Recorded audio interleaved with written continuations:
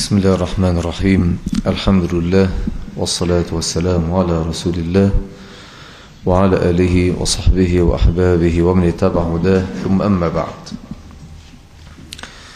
أحيانا ينكسر مجلسنا لأمر عارض أو حادث مستطير نحن ندرس كتب المتقدمين لكن عندما تنزل نازلة لا نصم آذاننا ونعمي أعيننا بل لابد أن نبادر وأن نتكلم في هذه النازلة. والحقيقة من أمس والإنسان لا يكاد أن يسيطر على مشاعره وأعصابه. إنهم يزعمون أن الأمور تغيرت لصالح الإسلام. لأن الموجود الآن ليس حرية ولا تمكين وإنما هو فوضى. والفوضى ليست لصالح الإسلام كما قلت لكم من قبل وإنما هي لصالح من؟ لصالح العلمانيين لصالح الرافضة لصالح الصوفية لصالح النصارى لكن ليست لصالح المسلمين. كلام ده قلته منذ شهر. اليوم اسمع ما الذي يحدث. حدث هناك أمرين في غاية العجب. الأمر الأول بيتعلق بمقتل أخت أسلمت هي وزوجها وابنها.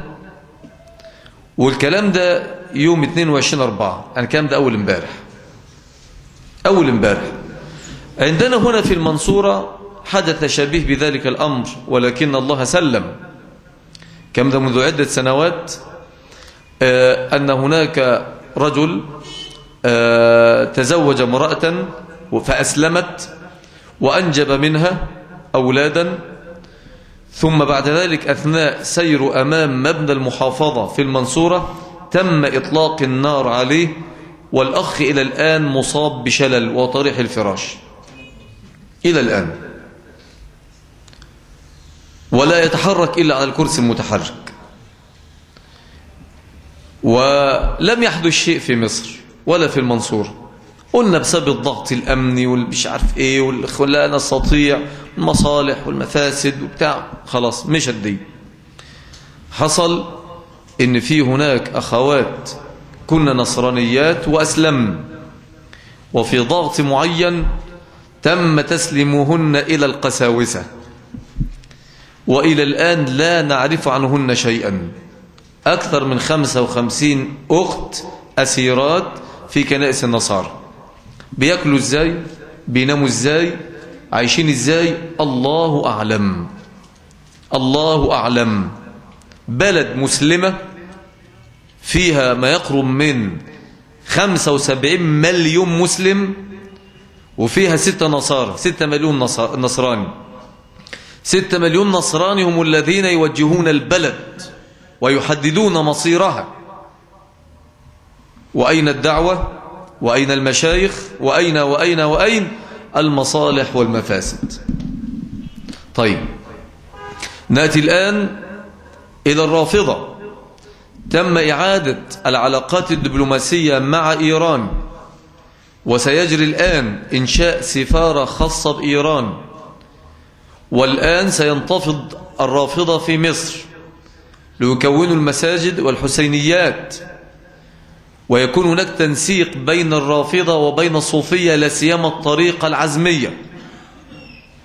والكلام ده أنا قلت منذ سنين أن الرافضة مطيتهم إلى مصر هم الصوفية. الكلام ده قلت منذ سنين.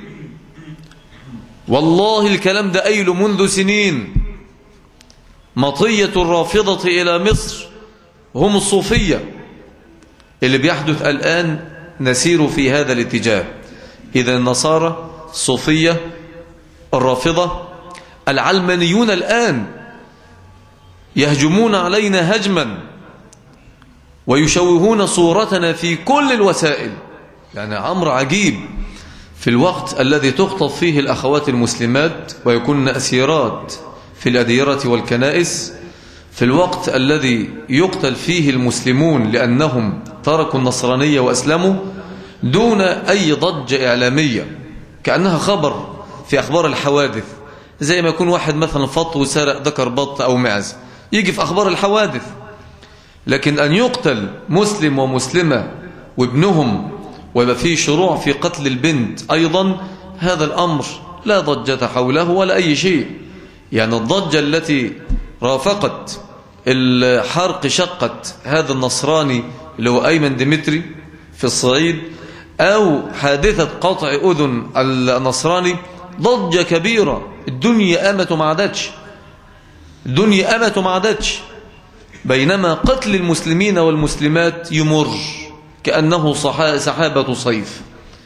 من المسؤول عن ذلك؟ إنه الإعلام الفاسد.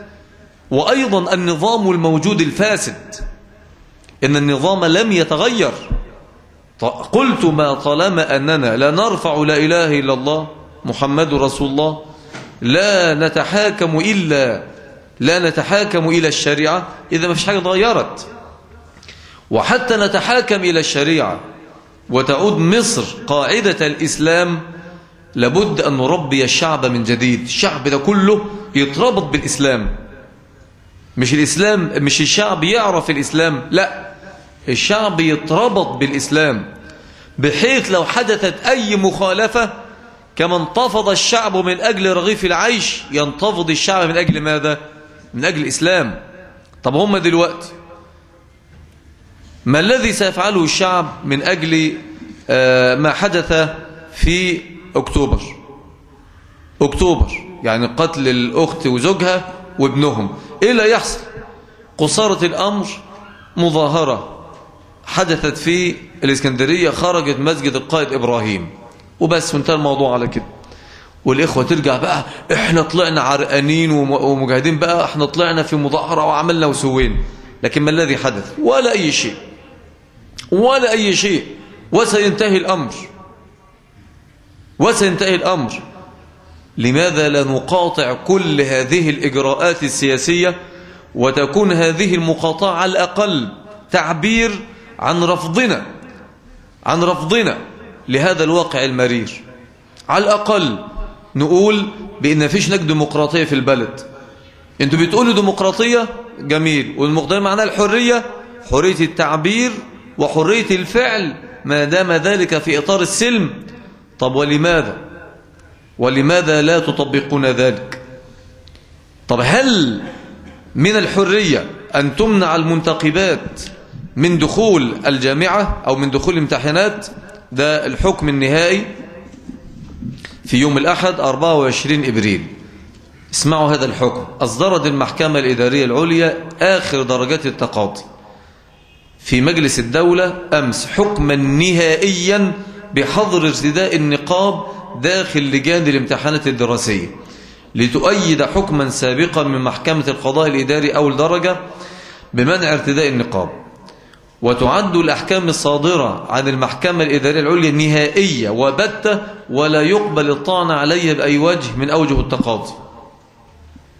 يا إله فهمنا يا إخواننا ولا قاعدين كده مش فاهمين؟ فين الديمقراطية؟ وفين الحرية؟ يبقى اللي لابسه ستريتش. واللي لابسه طبعا الصليب هيدخل هيدخل أهو. واللي لابسه ملابس مظهرة كل جسمها تدخل. عادي. برفانات ومكياجات وسايبة شعرها ومبهدلة. في آخر بهدله دي تمشي تخش الامتحانات والامتحانات الشفوي والتحريري والمعمل وال round وال section وكل حاجة. بينما المنتقبة ارجع ورا. فين الحرية؟ فين الديمقراطية؟ ينفع في ظل هذه الأجواء أن تكون لنا مشاركة إيجابية؟ إذا كنا مش قادرين نطبق الحرية والديمقراطية في الثياب في الثياب أن نستطيع أن نطبقها في حكم الله عز وجل. الله المستعان.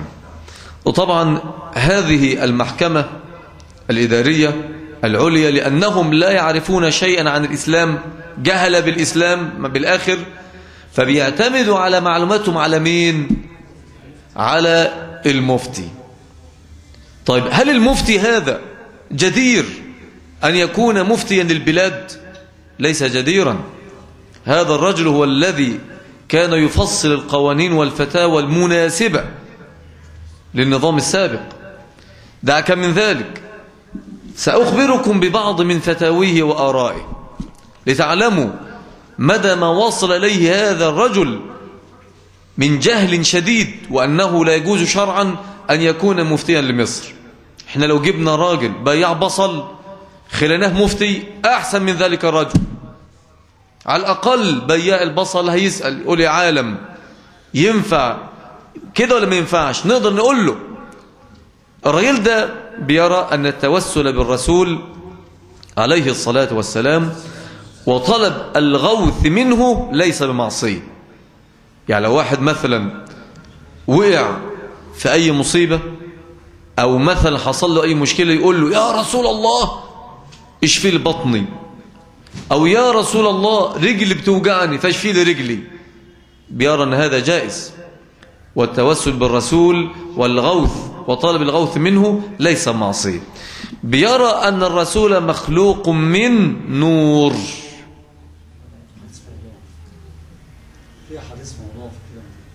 حديث جابر. الرسول مخلوق من نور. بيرى ذلك. بيرى أن الشافعي وابن حجر والنووي كانوا صوفيا. ماشي. بيقول أن, صاح... أن الصحابة كانوا أشاعرة. أمر في منتهى العجب. الصحابة كانوا أشاعر الله المستعان. إشعاري في القرن الثالث الهجري. يعني بعد الصحابة بأكثر من 200 سنة بيقول إن الصحابة كانوا على مذهب الإيه؟ الأشاعرة. بالضبط زي لما واحد يقول إن جدي أنا اللي مخلفه. آه بيقول بأن الطواف حول قبور الأنبياء والصالحين ليس من الشرك في شيء. الطواف حول قبور الأولياء والصالحين ليس من الشرك في شيء. يا ما شاء الله. الطواف حول قبور الأنبياء والصالحين ليس من الشرك في شيء. سبحان الله. من اعتقادات هذا الرجل علي جمعة أن المرسي أبو العباس كان يرى الرسول في اليقظة كل يوم. المرسي أبو العباس ده الإسكندراني كان بيشوف النبي صلى الله عليه وسلم في اليقظة بعينيه كده كل يوم. هو قال عن نفسه أنه رأى النبي صلى الله عليه وسلم في اليقظة. الله أكبر. وصافحه. دي رواية. ده زيادة في الرواية. يعني ماك رواية بزيادة وصافحه. ولكن هذه الزيادة تحتاج إلى إيه؟ إلى دراسة. فإن كانت لا ما هوش إسناد ضعيف. إن كانت هذه الزيادة من ثقة يمكن أن نقبلها. لكن الجماعة بيقولوا إن هو شاف النبي صلى الله عليه وسلم في اليقظة. فيا ترى نقول إن الزيادة دي ثقة خالف جماعة الثقات ودي فيها مبحث يعني حديثي؟ نعم. الكلام ده وصافحه سمعتها؟ يبقى واحد سمعها سمعتها أيضا؟ إيه؟ إيه؟ قالها عندكم في الكلية.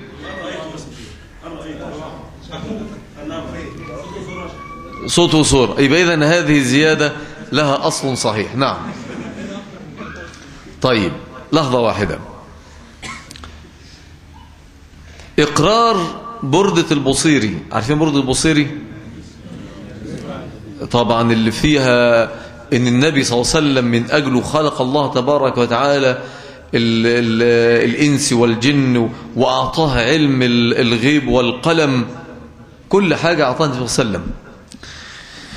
إقراره وافتراؤه بما يسميه بالوهابية وأنهم تعاونوا مع الإنجليز والفرنسيين.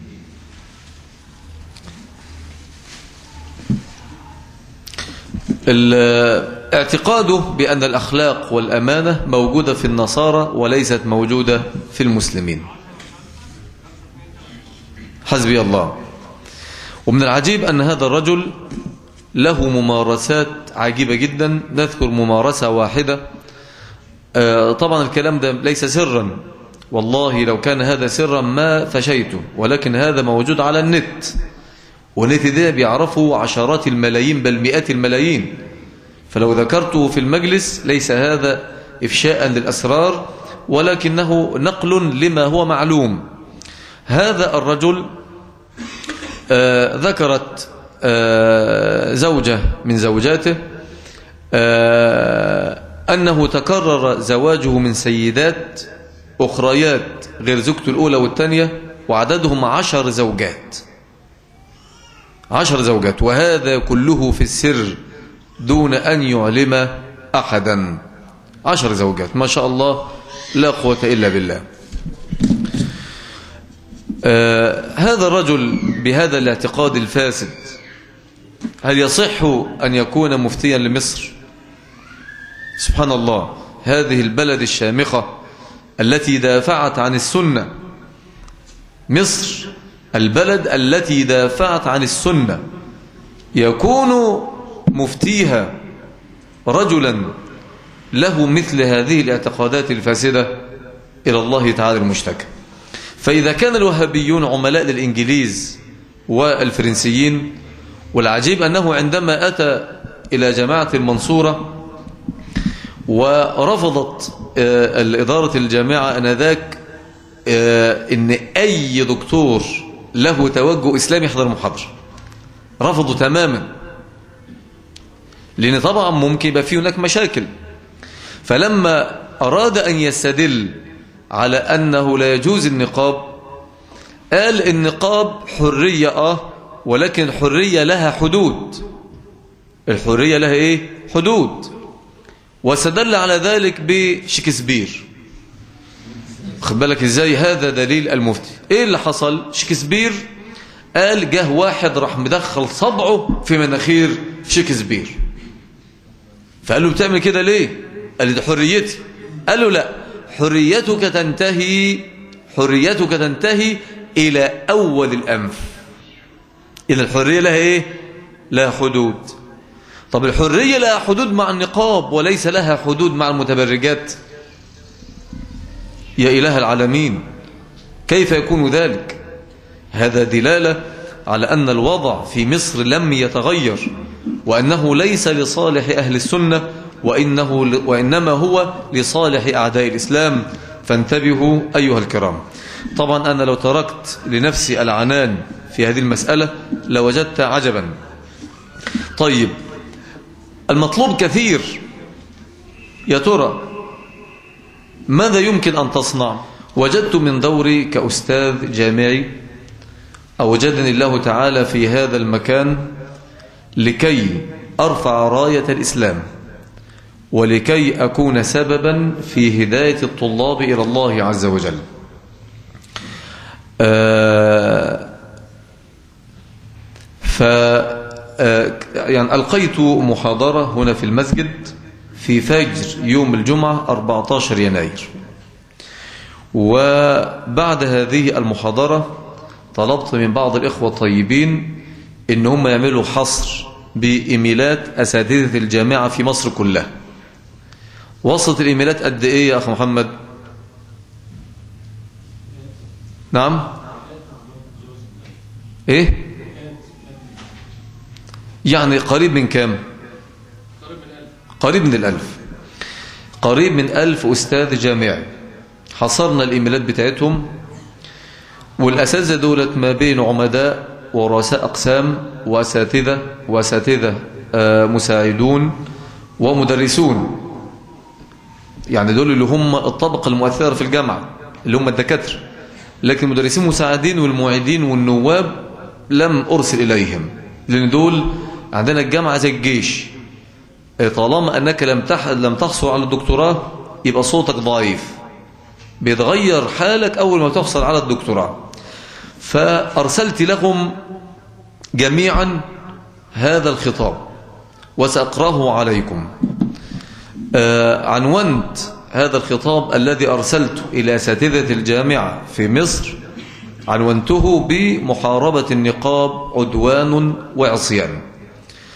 فقلت النقاب هو ما تلقيه المرأة على وجهها وصدرها فلا يظهر منها شيء إلا العينان فقط.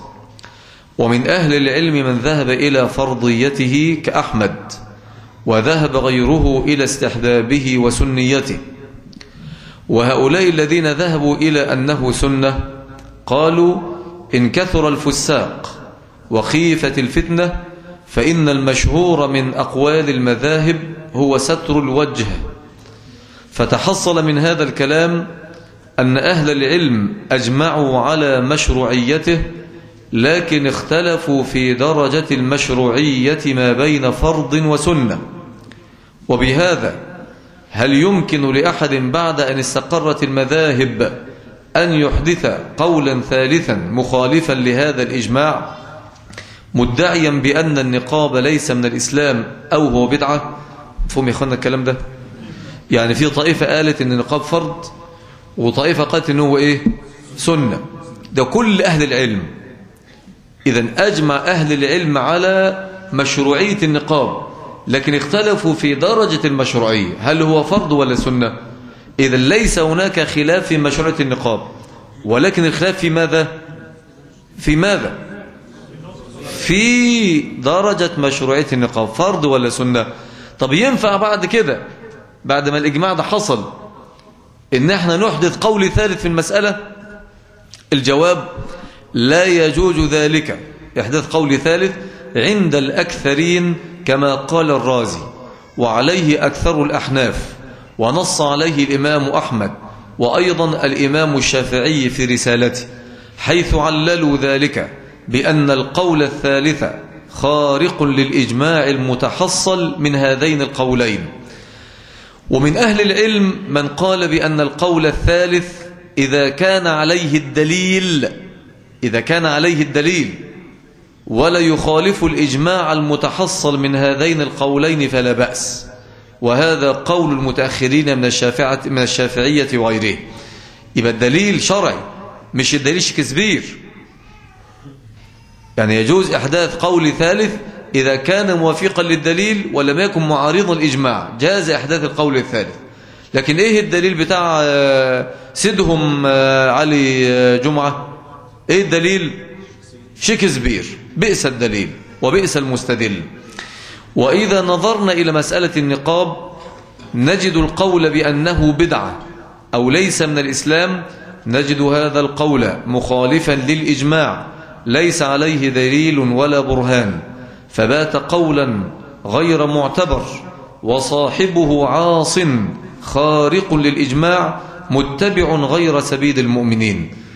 قال الله سبحانه ومن يشاقق الرسول من بعد ما تبين له الهدى ويتبع غير سبيل المؤمنين نوله ما تولى ونصله جهنم وساءت مصيرا وتعاون المسلمين إنما يكون في المعروف تعاون المسلمين إنما يكون في المعروف أي ما شرعه الله ورسوله.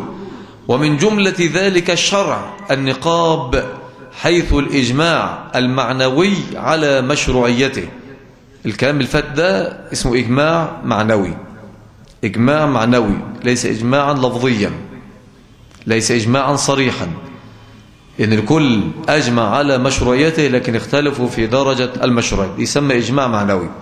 قال الله تعالى وتعاونوا على البر والتقوى ولا تعاونوا على الإثم والعدوان واتقوا الله إن الله شديد العقاب. وقول النبي صلى الله عليه وسلم في الصحيح إنما الطاعة في المعروف. وعليه خلي بالنا في الحتة دي وعليه فإنه لا يجوز إصدار قرار من أي جهة من أي جهة كانت بحظر النقاب لفتوى أو رأي ديني لأنه رأي غير معتبر. ويكون مصدر هذا القرار مخالفا لشرع الله. يبقى الكلام اللي حصل ده الكلام ده الكلام ده منذ سنة سنة وشوي. الكلام ده منذ سنة وشوي. آه يبقى إذا آه ولا يجوز لأحد أنا بتكلم ده لزمايلي أساس الجامعة. أنا بحث زمايلي إنهم يتحركوا. بحث زمايلي في الجامعة إنهم يتحركوا. ولا يجوز لأحد أن يطيعه. ومحاربة النقاب ومنعه ليس معروفا وبرا بل هو إثم وعدوان. ونقول لمن حارب النقاب لماذا لا تحارب العاريات مثل الراقصة بيونسيه أحيت حفلا ببرتغالب في البحر الأحمر يوم 7-11-2009 وهي عارية. وتقاضت 3 مليون دولار يعني 16 ونص مليون جنيه مصري. تقاضت 16 ونص مليون جنيه في 3-4 ساعات يا إخواني. يعني الساعة بحوالي ما يقرب من أربعة ونص مليون. الساعة بأربعة ونص مليون. حسبي الله ونعم الوكيل. نسمح للراقصة بيونسي في بلدنا إن هي ترقص وهي عارية وتغير ملابسها على خشبة المسرح. وطبعا بتقول لهم غمضوا عينيكم واتقوا الله. ولا هتغير ملابسها إزاي؟ وتقاضت 3 مليون دولار. يعني إحنا عندنا أزمة في العملة الصعبة ونديها هي بالإيه؟ بالعملة الصعبة. أتترك هذه الفاجرة العاهرة وتحارب المنتقبة؟ هذا لا يكون إلا عندما انطمس الله على قلبه وفؤاده. كلام ده أخوانا قبل الأحداث بسنة وشوية. وكان أمن الدولة موجود والدنيا كلها موجودة. فأناشد إخواننا أساتذة الجامعة ألا يطيعوا هذا القرار الآثم. والله الهادي لسوء السبيل. الكلام ده موجود وتجدوه إن شاء الله على موقع البصيرة مؤرخ في هذا التاريخ 14 يناير 2010 أظرف حاجة إن أنا عملت بريد إلكتروني خاص عشان أستقبل بقى مئات المكالمات أستقبل مئات المراسلات وعملت خط مخصوص وخط تليفوني مخصوص. قلت ده عشان بقى زمايلنا بقى في الجامعات يتصلوا ويحصل بقى رواج والكلام ده. وسألت قلت للإخوة هنا إن إن هذا القرار لن يغير إلا بحاجتين اتنين. القضايا مش هتغير حاجة. لو تذكروا هذا الكلام قلت إن تغيير القرار بحظر النقاب لن يكون إلا حاجة من اتنين. إما عن طريق أساتذة الجامعات وهذا لا أظنه لأنهم أجبن من أن يصنعوا ذلك. نمرة اثنين أو أن يكون عن طريق الطلبة أنفسهم. قلت مش الإخوة الطلبة كلهم. حتى أنتوا قلتوا لي طب إزاي؟ قلت لكم كل واحد يفكر ويتأمل هذه المسألة. مين الفاكر حاجة زي كده؟ يرفع ايده كده. طيب الحمد لله. وأيضا حدث هذا الأمر. إن بعض الدوائر القضائية حكمت للمنتقبات ودوائر تانية حكمت ضد المنتقبات وفي النهاية تأيد الحكم ضد مين؟ ضد النقاب بفتوى من مولاهم ليس مولانا أبدا من مولاهم علي جمعة. إذا أنا اعتقادي بأن هذه الفتوى التي قالها هذا الرجل علي جمعة فتوى آثمة واعتقادي أنه عاص لله ورسوله واعتقادي أنه لا يجوز أن يكون مفتيا لمصر واعتقادي أن هذا الرجل ينبغي أن يعزل من منصب الإفتاء ينبغي أن يعزل من منصب الإفتاء لأنه سيء الاعتقاد ولأنه مخالف للكتاب والسنة وإجماع العلماء. أرجع وأقول بأن الأمور عندما تحرك ولا يوجد فيها إلا الإخوة فقط ما ينفعش. يعني يقول لك إن أطلق شباب الحركة السلفية بالجامعات المصرية عدة حملات إلكترونية ينبغي أن الشعب يشترك معنا. قلت بأن أي عمل جماعي قوي مؤثر في الواقع إذا أردنا أن نسمع به لابد أن تكون له ضمانة. الضمانة إما من الجيش واغسل إيدك من دي. اغسلها عشر مرات. مش اغسلها ثمان مرات إحداهن بالتراب. يغسلها عشر مرات. وإما أن تكون الضمانة من الشعب. طب الشعب دلوقتي ممكن يشتغل القضايا دي. يعني ممكن للناس اللي هم خرجوا في التحرير يخرجوا يطالبوا بالإفراج عن الأسيرات المسلمات. هل ممكن الناس كلها ترجع وتقول إحنا عاوزين القصاص من قتلة المسلمين منذ يومين؟ ممكن. هل ممكن الشعب ده كله يطلع ويقول زي ما في متبرجات واخدين راحتهم بمقتضى الديمقراطية العوراء الكسحاء الشوهاء؟ الفاشلة التي ليس لها وجود بمقتضى ديمقراطية. يبقى المنتقبات بردك ياخدوا راحتهم. الشعب ممكن يقدر يشتغل الحاجات دي كلها. لو قلنا الشعب ما يقدرش يبقى لسه الدعوة لم تجعل لها قاعدة. إذا الدعوة لسه ضعيفة. الدعوة لسه ضعيفة. ما فيش حد يشتغل قضايانا. ما فيش حد يشتغل رسالتنا. يبقى إحنا دلوقتي لابد نربي الشعب من جديد. ولابد نهدي الأنفاس ونبدأ نعد العدة للجولة القادمة. مش إن إحنا ننهك القوة من أجل صراعات حزبية أو سياسية فاشلة. فأنا يعني أقول بأن الحل بالنسبة للأخوات المنتقبات حاجة من اثنين اللي قلته منذ سنة هقوله دلوقتي. إن أساتذة الجامعات جميعا يوقفون الدراسة في الجامعات. فيش ولا دكتور يحضر محاضراته طبعا الكلام ده أوضح شوية من اللي فات. ده أول حاجة.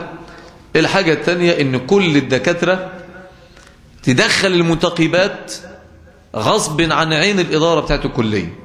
وعميد الكلية اللي يعترض الدكاترة تشيله. ده الدكاترة لو دكاترة رجالة بيحملوا الإسلام قضية. ولو اترفد من الجامعة لو باع فجل وجرجير وطماطم على نص شارع الجلاء أكرم له من أن يكون ذليلا في جامعة في جامعة يهان فيها شرع الله عز وجل. أنا واحد ناس أعمل الكلام ده والكلام ده أنا عملته. أنا قلت في الجامعة والحمد لله الطالبات عارفين كده كويس جدا.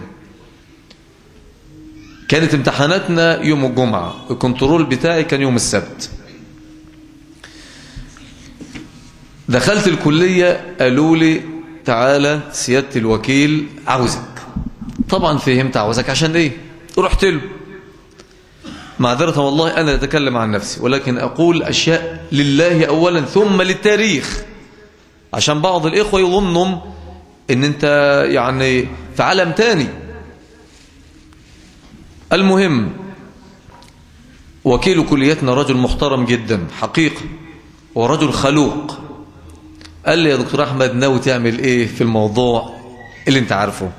قلت له والله سيادة الوكيل أنا رجل مسلم والمسألة دي شرع ربنا عز وجل ومش هخلف شرع ربنا.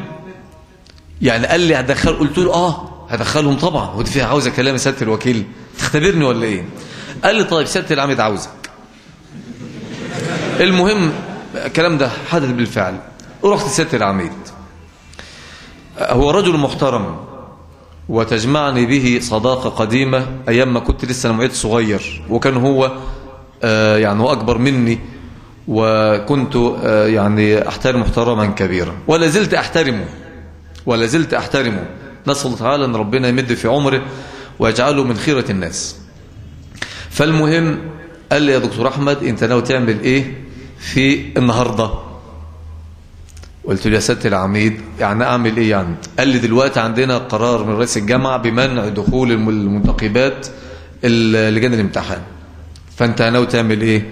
قلت له أنا هدخلهم لجان الامتحان. كنترول بتاعي على الأقل أنا لي حكم على الكنترول بتاعي. فالكنترول بتاعي هدخله قال لي ورئيس الجامعة قلت له رئيس الجامعة أنا في مكتبه. قال لي طب لو جه الكلية قلت له لو جه باحترامه أهلا وسهلا. لو طلع حد أنا هطلعه من اللجان. قال لي ترى رئيس الجامعة قلت له أيوه. قلت له إن أنا المسؤول عن اللجان.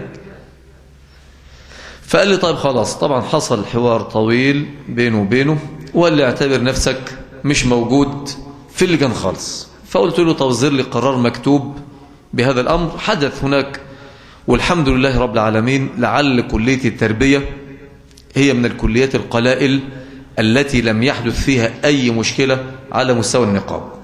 هتقول لي بتوع الطفولة بتوع الطفولة مش في كليتنا بتوع الطفولة بيمتحنوا عندنا بنستضيفهم عندنا لكن هم كلية تانية اسمها كلية رياض الأطفال. لعل كلية التربية من الكليات القليلة. ولعل الله تعالى صرف هذا البأس لأن الناس تفهموا إلى حد كبير. آه كان الأخوات يقولوا ممكن نعمل ماسك يجيبوا المناديل ويعملوها. قلت مناديل إيه وبتاعت إيه؟ هو النقاب نقاب. ما أنا لما أشتري النقاب وأحط بتاعت كمامة يبقى أنا عملت إيه؟ لابد إن إحنا نعليه. طبعا هناك أخوات يعني ابتلينا ابتلاء شديد في سبب ذلك الأمر ولكن أجرهن عند الله تعالى. إذا أول حاجة الأساتذة بتوع الجامعة وإن شاء الله إحنا هنجتهد في هذا الباب. هبعت الورقة ديت مرة تانية. هنعمل حصر بكل أساتذة الجامعة في مصر كلهم. ونبدأ نودي لهم الورقة ديت من تاني ونعمل رقم جديد وإيميل جديد ونعمل إدارة اسمها إدارة متابعة الأزمة أزمة النقاب دي. ونشجع إخواننا أساتذة الجامعة والمدرسين المساعدين والمعيدين وكله نشجعهم إن هم يسيروا في هذا الاتجاه اللي هو عدم طاعة هذا الأمر مخالف الإسلام لأن رئيس الجامعة أو العميد أو أستاذ الجامعة اللي هيمنع المنتقبة هو عاصي لله والرسول. يبقى عاصي لله والرسول يبقى زيه زي اللي بيشرب الخمر وزي اللي بيزني بوالدته وزي اللي بيأكل الميتة. حرام. رجل بيتلبس حرام.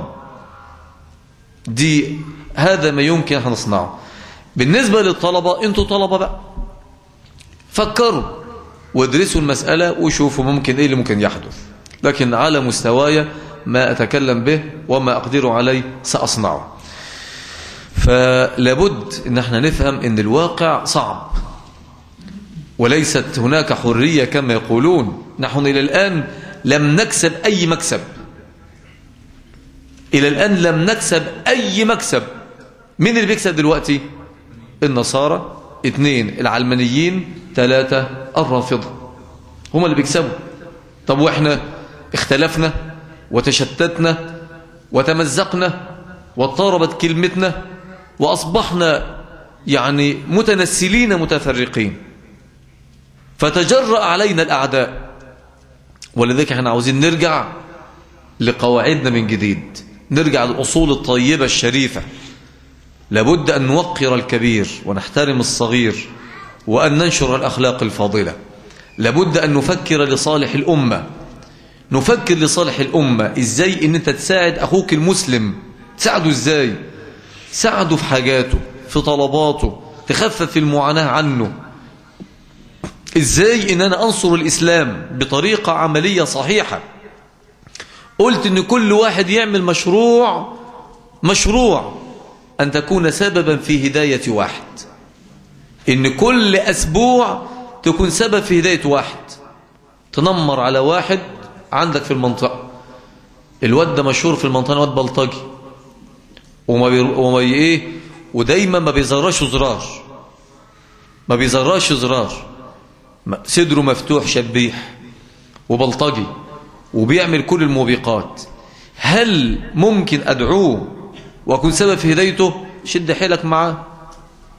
شد حيلك معاه. وأول ما ربنا يهديه وتبدأ السنارة تغمز معاه يبقى ده توفيق من الله. شوف التاني يبقى كل شهر عندك أربع مشاريع دعوية.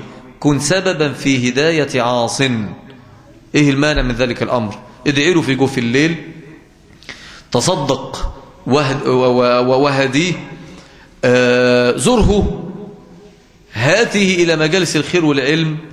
خذه إلى المستشفى ليزور المرضى. خذه إلى المقابر ليزور أصحاب القبور. قص عليه قصص أصحاب الذنوب والمصابين بالمعاصي.